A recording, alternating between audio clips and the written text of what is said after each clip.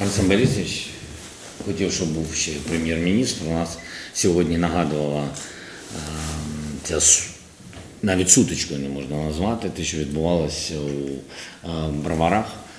Е, Нагадувало такі 90-ті. Е, Хотів би, щоб ви нам розказали деталі того, що відбувалося. Одна из групп пришла а, с помповым ружьем, в том числе с резинами и в том числе с дробовиками. Так? Вторая пришла просто, так сказать, а, нанятая была другой группой без оружия. А, Началось столкновение, условно говоря, местных броварских а, перевозников, которые до этого контролировали эти перевозки между Броварами и Киевом, и внешними перевозчиками, которым отдали теперь значительную часть этих маршрутов. Адже поліція не знала, що там відбувається.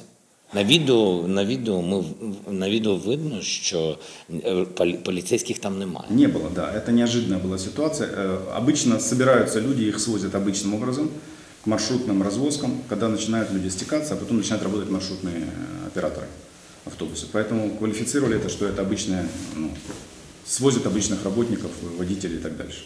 Тобто броварської поліції не було. Да, но вероятнее всего, вот, вот мы сейчас хотим закончить эту операцию, и у меня большие вопросы есть по а, броварской полиции.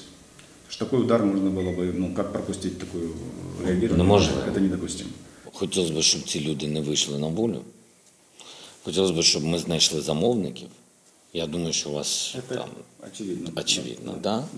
А третє, що я бачу відео, там, де в вікна попали постріли, там дуже багато всього, щоб там на місцях ми розібралися, допомогли людям, які просто звичайні люди, які потрапили в цю е, ситуацію.